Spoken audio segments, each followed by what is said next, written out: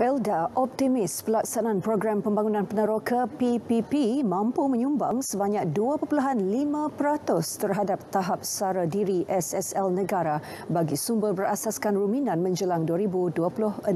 Manakala projek berskala besar berasaskan pertanian cili dijangka turut menyumbang 2.5% kepada sekuriti makanan negara.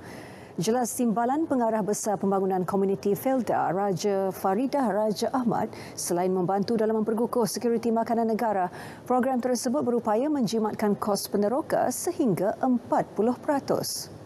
Dan setiap tahun memang kita peruntukkan uh, kawasan tanam semula sebanyak 12,000 hektar.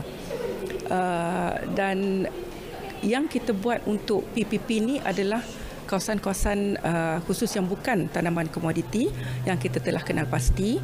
Uh, dari segi ternakan lembu tadi lembu berdaging kita buat uh, uh, skim ternakan secara integrasi di mana kita lepaskan lembu-lembu di kawasan uh, ladang. Uh, dan ini secara tidak langsungnya mengurangkan kos merumput lah sebab lembu makan rumput kan Beliau berkata demikian selepas menjadi tetamu rancangan Selamat Pagi Malaysia di TV1.